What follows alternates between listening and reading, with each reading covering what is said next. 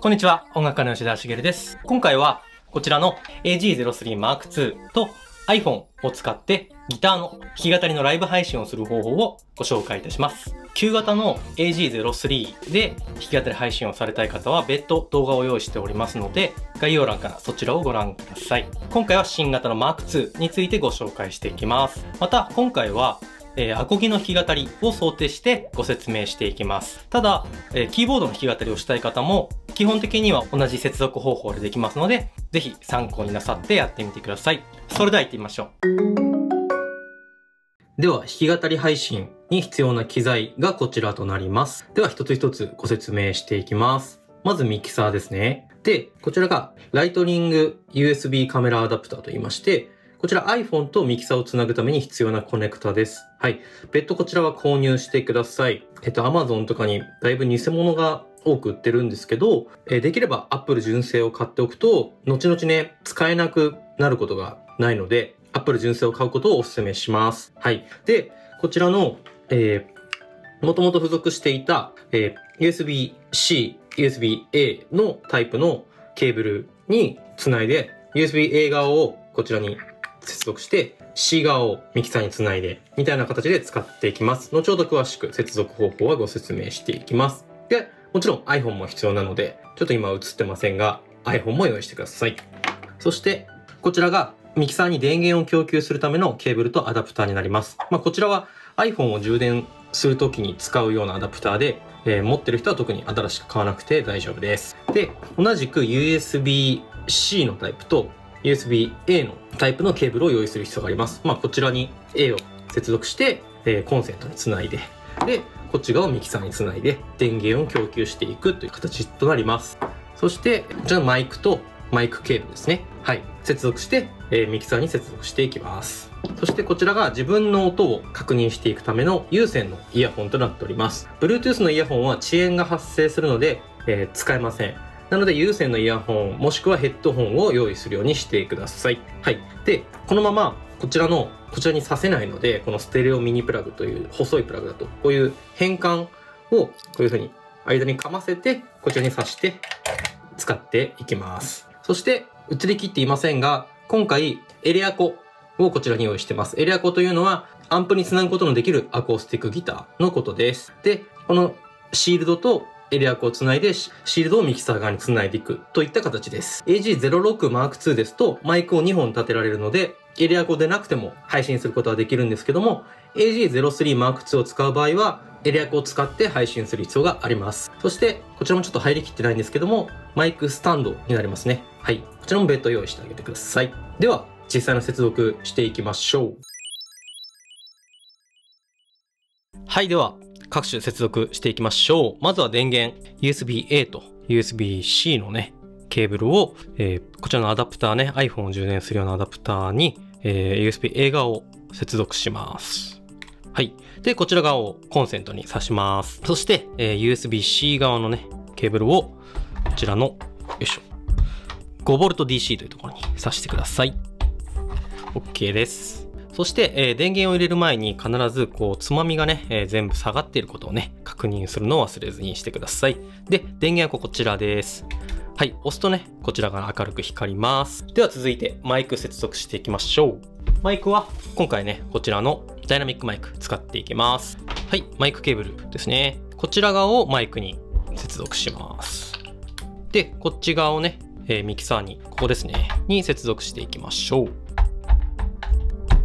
OK です。で、マイクの音確認していきたいので、モニター用のね、有線のイヤホンも接続していきましょう。はい。先ほど言ったように、こちらの変換をね、こう繋いであげて、で、こちらのヘッドホンマークのところに挿してあげてください。で、音を聞くときは、こちらのね、モニターというところを上げてあげれば OK です。はい。まあ、こちら、自分の聞きたい音量に上げ下げしてあげてください。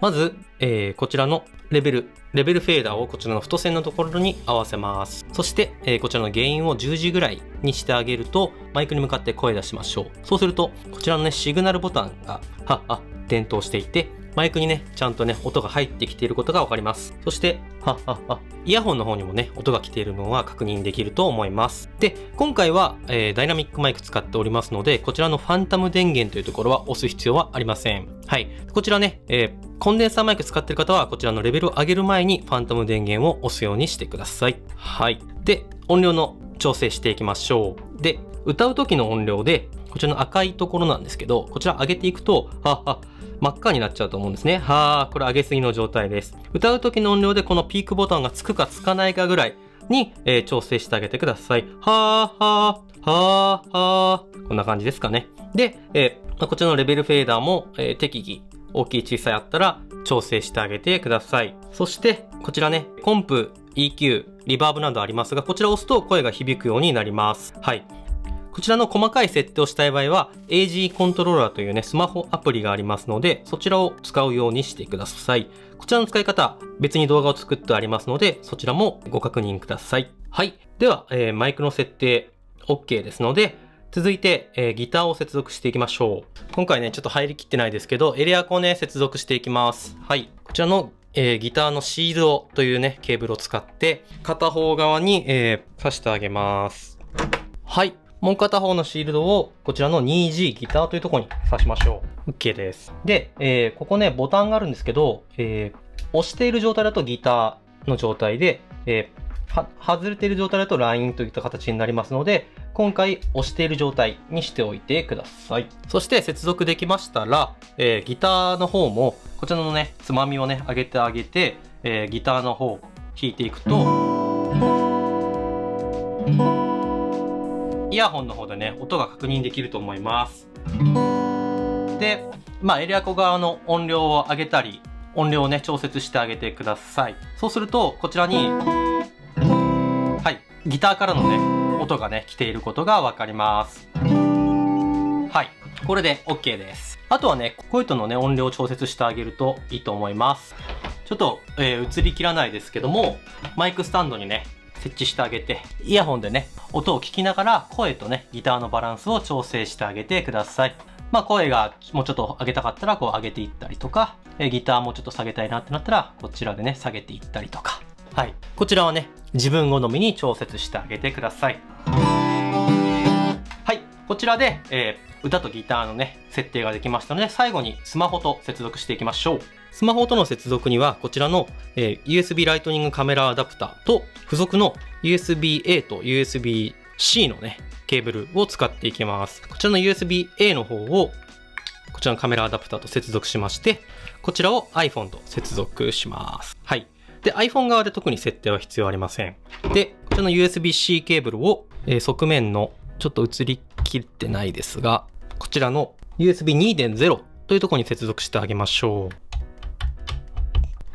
OK です。これだけでね、もう iPhone との接続完了してますので、あとは、えー、自分の普段お使いの配信アプリ、インスタとか、TikTok とか、17とかで、えー、ライブ配信していただければ OK です。あとはね、大事なことは、こちらのストリーミングアウトというね、パネルがあるんですけども、こちら、スイッチで切り替えられるようになってまして、配信する際はこちらの一番下のループバックというところにえー、合わせるようにしてください。大体なんか問題が起こってる時、このストリーミングアウトをループバックにしてないことが多いので、気をつけてこちらを確認するようにしてください。で、配信する前に確認したい時とかあると思うんですけども、その場合は、えー、純正のカメラアプリで開いていただいて、動画撮っていくといいです。このね、ビデオっていうのを撮っていただいて、えー、もちろん自分のインカメとかでね、自分を撮影しながらでもいいんですよ。で、はい、ビデオを押しながら、えー、ちょっと自分で弾きながら歌ってみると、その音が確認できますのでやってみましょうか。はい、ビデオを録画します。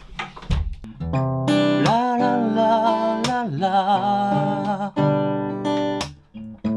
ラララララララはい。